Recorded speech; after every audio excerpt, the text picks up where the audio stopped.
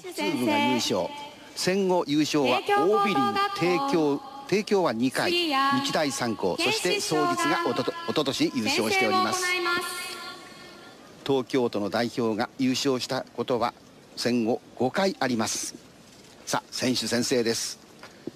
先ほどの杉谷健志首相帝京高校です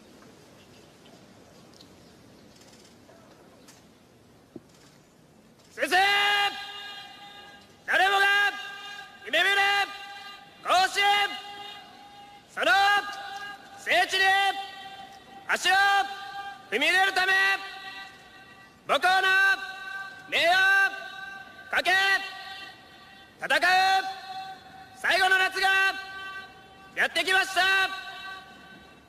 数々の試練を乗り越え時の勝ちを知り今仲間たちと共に堂々とスタートラインに立っています。大好きな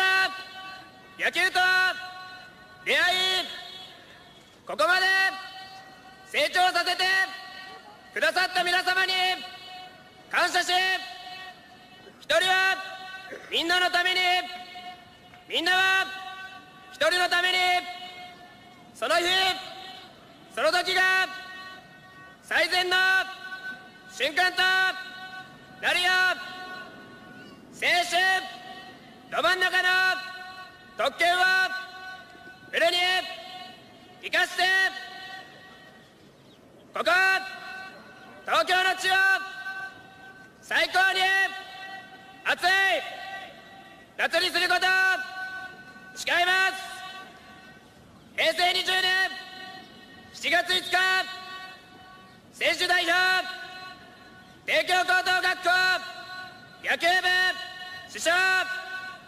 杉谷健志